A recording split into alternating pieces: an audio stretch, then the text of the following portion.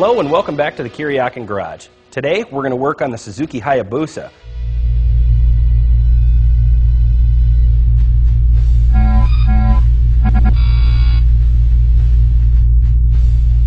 That's right, Kuryakyn is now getting into the sport bike industry. Now some of the first pieces that we're going to show you is going to be Kuryakyn's new front fender accents, lower fork covers, and caliper accents. The first piece we're going to do is going to be the front fender accent, so let's get started. So the first piece we're going to install is going to be the Triceptor front fender accent. Now this piece is a self-adhering piece, so all you need to do is clean and prep the surface, which I've already done, so we can just rub the adhesive backing, peel, and stick.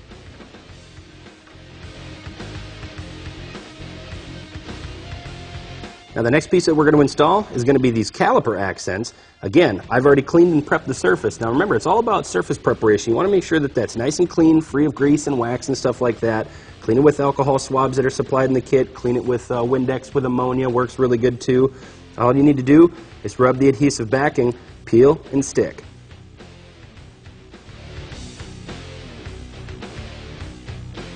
And that's it.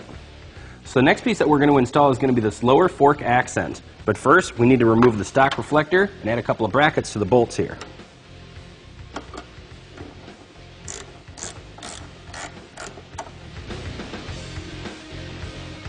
Now the first bracket we're going to install is going to install in this lower caliper bolt. Just slides into place like that. And the stock bolt holds it on.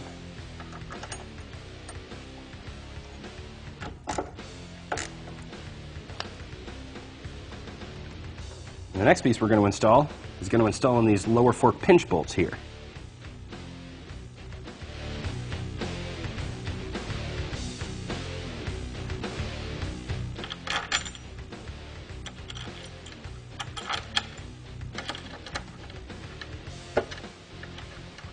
Now that we have our brackets in place and tight, we can go ahead and install the cover.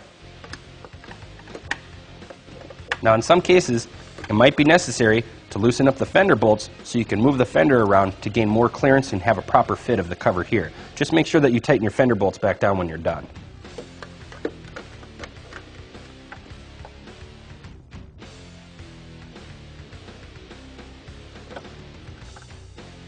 Okay, now that's all it takes to get that lower cover on. Now remember, if you had to loosen up your fender bolts, make sure you tighten them back down before you leave.